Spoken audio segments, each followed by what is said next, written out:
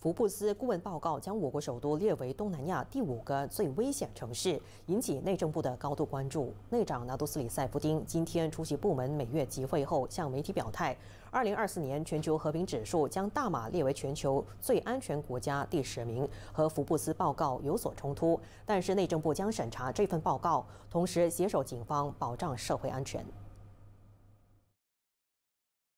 Ya, jadi saya anggap sebagai satu uh, kenyataan yang dibuat oleh Forbes. Tapi apa pun analisisnya,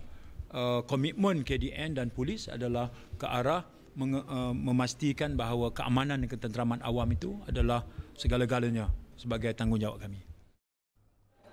塞夫丁提及全球和平指数的衡量标准，考量到犯罪指数是否发生流血冲突、人均补助金以及环境安全，是一份相对全面的评估报告。 不过，他还没有研究和了解福布斯顾问报告，并不是否认这项排名。无论分析结果如何，塞弗丁强调，保障公共安全和秩序是政府和警方的首要责任。